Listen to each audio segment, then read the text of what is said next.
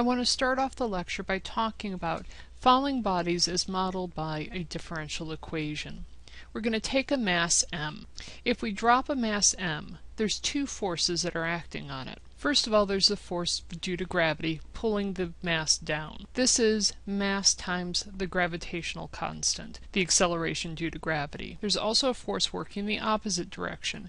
That's the air resistance. And that's modeled by negative k times v, where k is the damping medium constant and v is velocity. So the two forces acting on the mass are Fa plus Fg, or negative kV plus mg. Well, we can also take into account Newton's second law of motion, which says the force is equal to mass times acceleration. And if we remember from calculus, acceleration is just the first derivative of velocity with respect to time. If we set these two forces equal to each other, then we get the following equation. If we want to put it in a more standard form where we've got all the dependent variables on the left-hand side and the constants on the right-hand side, then we'll get this equation. What this is, is a first order, linear, ordinary differential equation. We could also look at the same equation instead of terms of velocity, we can look at it in terms of distance. Velocity is just the first derivative of distance with respect to time, and then we would get this equation. This would be a second order linear differential equation. But we're going to go and look at the model of a falling body in this. Before we do that, however, I want to start talking about how we can find solutions without really knowing how to find solutions just yet. That is, we were going to come up with a way of finding qualitative solutions. That is, getting an idea of what the solution would look like not necessarily getting an actual equation for the solution. We're not looking for analytical solutions here, just what the general solution would look like. Let's start with this example. x prime plus x equals 12. Let's go ahead and solve this for x prime. If we remember, the first derivative is just the slope of the tangent line, we can start getting an idea of what happens to the solution. If the slope is positive, that is if x prime is positive, we have an increasing function. If x prime is negative, then our function or our solution will be decreasing. Here's another differential equation. dy dx is equal to 0.2xy. Again, if the slope or dy dx is increasing, it's going to be positive and if dy dx is negative, it's going to be a decreasing solution. So let's say I picked the point 2 comma 3. Well, if I plug 2 comma 3 into dy dx, I get a positive answer. So I know at the point 2 comma 3, what's going to happen to the function is it's going to have a slope of about positive 1. So if I filled this entire xy region with little slopes, this would be called a direction field or a slope field. Each little line is called a lineal element. Well, let's get an idea of how to find these. To help demonstrate direction fields, I'm going to go to one of my favorite websites. It's Paul's Online Math Notes, and it's at tutorial.math.lamar.edu. He has excellent notes for algebra, Calc 1, Calc 2, Calc 3, and differential equations. It's a great resource to use. And we're going to go back to that falling body equation that we came up with before. We're going to assume that we have a mass of 2 kilograms and that k is going to be 0.392. When we do that, we get the following differential equation. Notice he has it in a different form. He has the v on the right hand side of the equation, but it's the same form that we had before. What we want to do is start at an easy point. So to do that, we're going to take this equation and find what velocity will give us a slope of zero. Solving for v, we get an answer of 50 meters per second. So that means anytime the velocity is v, the slope should be equal to zero. So you can see this on the beginning of the direction field that Paul's notes is showing. Right at 50, every little lineal element has a slope of zero. So let's look at some other points. Instead of looking at 50, what happens if we pick a velocity of 40? At 40, the slope will be about positive 2. If we go even slower, let's say 30 meters per second, we get a slope of almost positive 4. If we go back to Paul's notes, we'll see that as we get slower in terms of velocity, the slope of the lineal element increases. All along a particular velocity, the slope is going to be exactly the same. It's not shocking to see that if we went above 50, we would start then getting negative slopes. Let's check that for 1. Here we get a slope of about negative 2. And you can see above the line v equals 50, the slopes are all decreasing. And this is called a direction field. This lets us know what the solution looks like without really solving it. If we picked a particular initial value, for instance in this case we started at a velocity of 30, all you do is follow the arrows to see where the actual solution goes. And in this case it increases as it starts approaching 50. Depending on our initial conditions, we're going to have a different solution. This is like the family of solutions we talked about before. Depending on your initial condition, you will have a different solution path through this direction field. Next, we're going to build a direction field using MATLAB. You could either use MATLAB and download the file dfield8.m, or you can go to the link on the Blackboard website, which is a web-based Java program that you can use instead of using MATLAB. To use dfield, you need to set up the differential equation. What we want to use is v prime equals 9.8 minus 0.196v. But you'll soon learn as we use MATLAB that I can't just say 0.196v, I have to put the multiplication symbol in there. When I proceed, I get something that's not very interesting looking, until I realize that we have to change our display window. We don't want to look at negative time, so we'll start at t equals 0. And let's go up to t equal 5 like we have. The minimum velocity that we want would be 0 and the maximum velocity will be about 100. And when we proceed now, we see something quite similar to what we saw in Paul's online notes. And if you click anywhere on the screen, you'll get the solution along that initial value. So if I start at around 50, I stay at 50. If I start at 40, I have a positive slope until I approach 50. Selecting different values of initial velocity below 50 all show increasing slope and approaching 50. If I select points above 50, then we see we have a negative slope and it approaches 50 from above. You'll have some homework assignments that you'll need to use D field. You can just go ahead and use that print button and print your direction fields directly from D field 8. Again, those little lines are called lineal segments. And if we look along one particular value, for instance, at the velocity 10, all along 10, no matter what the time is, we have the same positive slope. You'll have just one or two homework assignments where, where you'll be asked to draw a direction field without using dfield 8. So let's look at how we do this. What we want to do is find what are called isoclines. That is, lines with the same slope. In our last example, isoclines were all in the form v equals a constant. For instance, along the line v equals 50, all the lineal elements had the same slope. Along the line v equals 10, all the lineal elements still had the same slope. We're not going to have that in this case, however. Let's start off again at looking at when we'd have a slope of 0.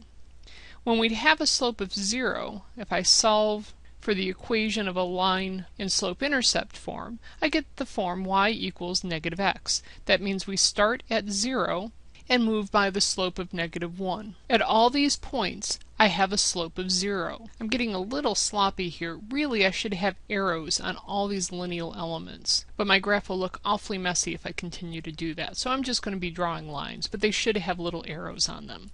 This line is called an isocline because all the lineal elements on it have the same slope. Let's look at another slope. If I have a slope instead of positive 1, again I'm going to put this in slope-intercept form, I have the same slope of negative 1, but now my y-intercept is 1. So along all those points I have a slope of positive 1. If I went up another line, I would have a slope of positive 2. If I went below, if I instead had a slope of negative 1, that would be the line y equals negative x minus 1, and so on. Well, let's go and check our work with MATLAB. So I've gone ahead and set up my dfield setup, but this time I have my dependent variable y, and I've changed my independent variable to x, and I'm looking at a window of negative 5 to positive 5. And when I do this, I do see along the line y equals negative x, a slope of 0. And when I look at the line y equals negative x plus 1, I have a slope of positive 1. Again, I can choose initial values and see what my solution curves will look like. These are all valid solution curves. The curve that is the correct answer depends on what your initial value is. If I told you an initial value was y of 0 is equal to 1, I would simply click on the point 0, comma 1, and that would be my solution curve. Again, these are qualitative types of solutions. I don't know what the equation of this line is, but it does tell me what my general solution will look like. Let's go ahead and look again at the M&M model that we came up with. y prime is equal to negative 0.5y plus 10. And I've changed my display window to match what we graphed. And when I look at this, I see that if we start at 50, we see the solution that we came up with. The value settled out to 20. And this is another thing these qualitative solutions will be telling us. As x or t go to infinity, what do our solutions look like? Again, if I had started below 20, it would have still approached 20. And if I had started with a much larger number than 50, I still would eventually get to an equilibrium point of 20. We've talked about different ways of classifying differential equations. We talked about ordinary differential equations versus partial, so that was ODE versus PDE.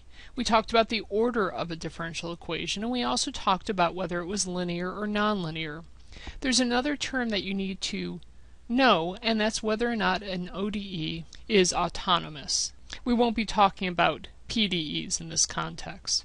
An autonomous differential equation means that the independent variable does not explicitly appear in the equation. For instance, with our M&Ms, we had dy dt equals negative 0.5y plus 10. There was no t in the equation. Similarly, when we talked about the spread of disease, in this case the dependent variable is x, the independent variable is t, and that does not appear in the equation. And the same thing with the mixture problem that we talked about. If you go back and look at the different models that we examined, none of them have t explicitly in the equation which makes sense. Most models don't depend on t. They depend on change in time, but not what the actual time is. For instance, when I did the M&M experiment in my daytime class, we got the same results that we did in the evening class.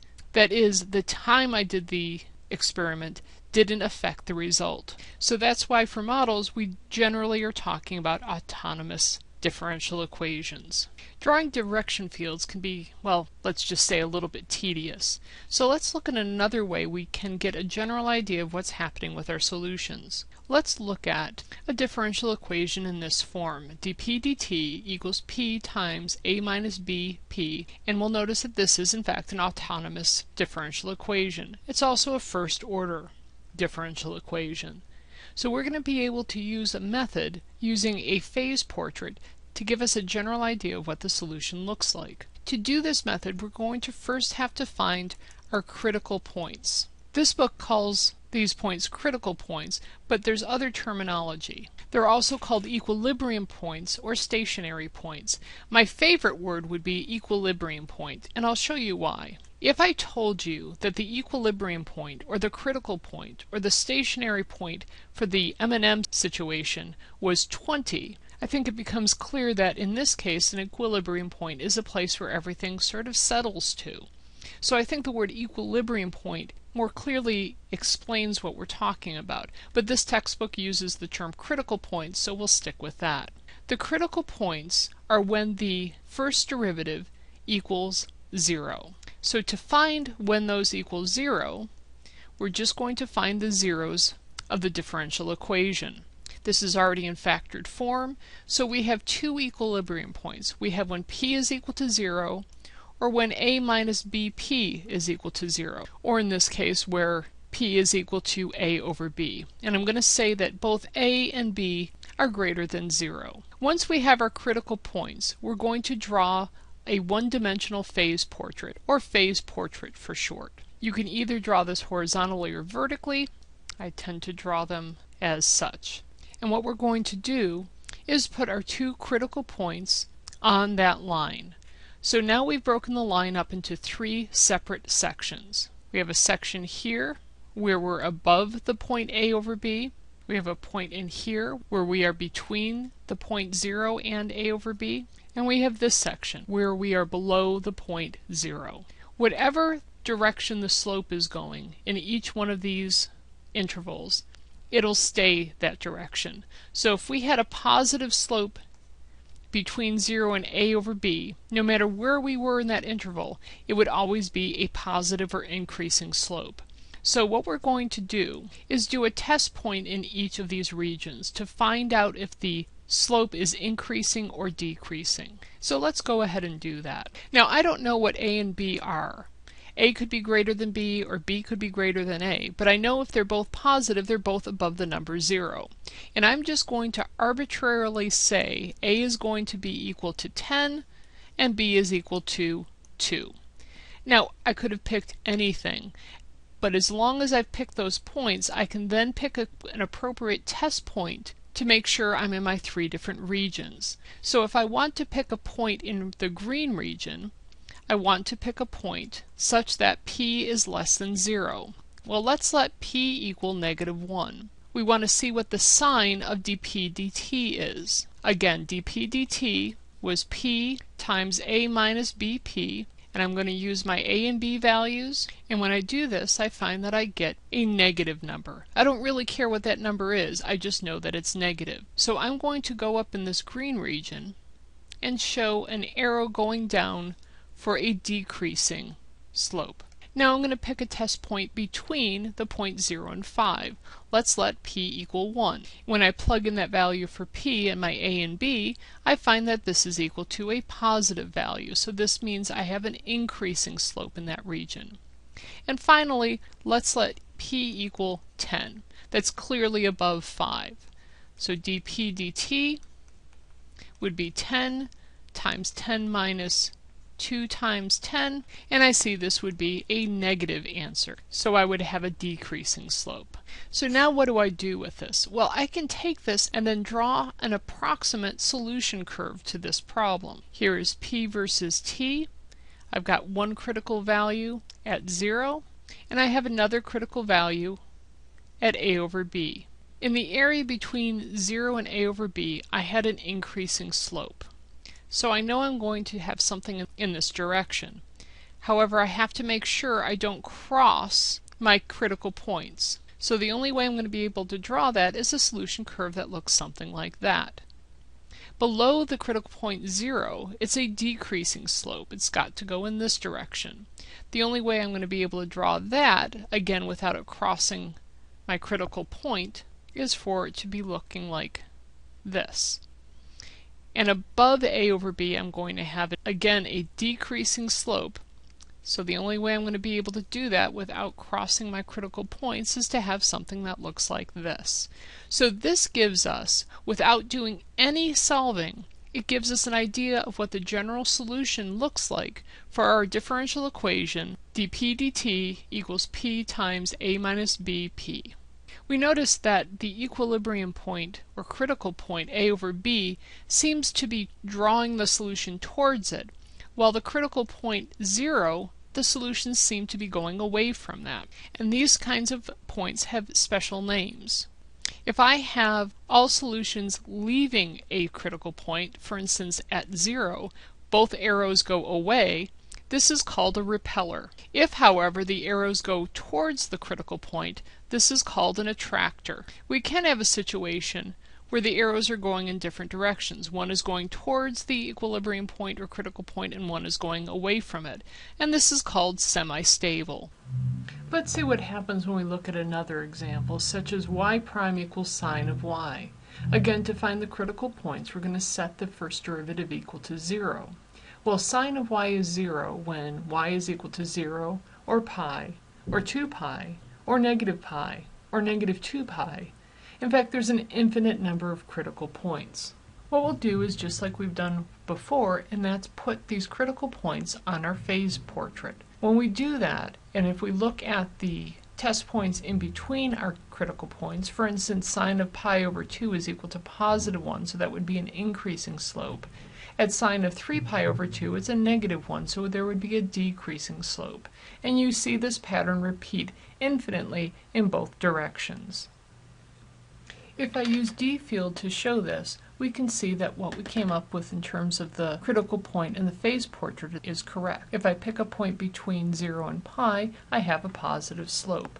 If I go above pi, but below 2 pi, I get a negative slope. And I see that for negative pi and negative 2 pi as well. We can see the critical point pi is in fact a attractor, and 0 and 2 pi and negative 2 pi are repellers.